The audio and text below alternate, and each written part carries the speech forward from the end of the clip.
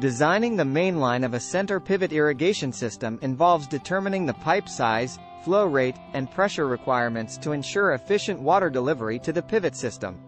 Here are the steps to design the mainline. Determine the flow rate. Calculate the total flow rate required for the center pivot system. This is based on the application rate, pivot length, and the time needed to complete a full rotation. The application rate can be determined using the steps mentioned earlier.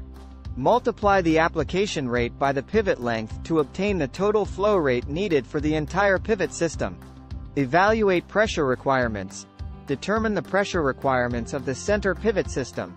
This depends on factors such as sprinkler types, spacing, and elevation changes within the field. Check the manufacturer specifications for the sprinklers to identify the optimal pressure range for efficient operation. Consider any pressure losses due to elevation changes and friction losses in the pipe network. Select the pipe material. Choose a suitable pipe material for the mainline based on factors such as water quality, durability, and cost. Common options include PVC, polyvinyl chloride, and HDPE, high-density polyethylene, pipes. Consult local regulations and industry standards for guidance on pipe material selection.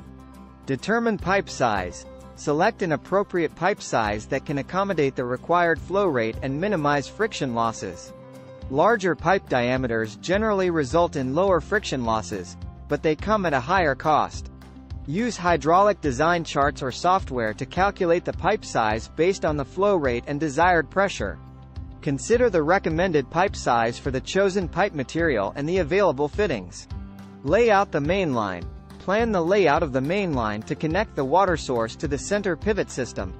Consider factors such as field size, shape, and any obstacles or existing infrastructure. Minimize the number of bends and turns to reduce pressure losses.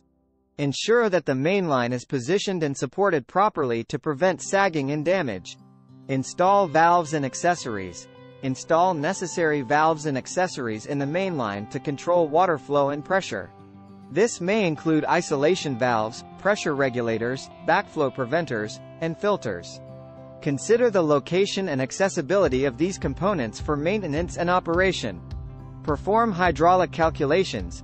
Perform hydraulic calculations to ensure that the chosen pipe size can deliver the required flow rate at the desired pressure.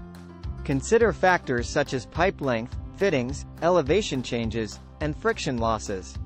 Verify that the pressure at the pivot end meets the manufacturer's specifications for optimal sprinkler performance. Consider expansion and future needs. Anticipate future expansion or changes in the irrigation system. Design the main line with the flexibility to accommodate additional pivots or modifications if needed. Consider the water source capacity and the potential for system upgrades. Installation and testing. Once the mainline design is finalized, Proceed with the installation of pipes, fittings, and accessories according to industry standards and manufacturer guidelines. Conduct pressure and flow tests to ensure proper functioning and identify any leaks or issues that need to be addressed.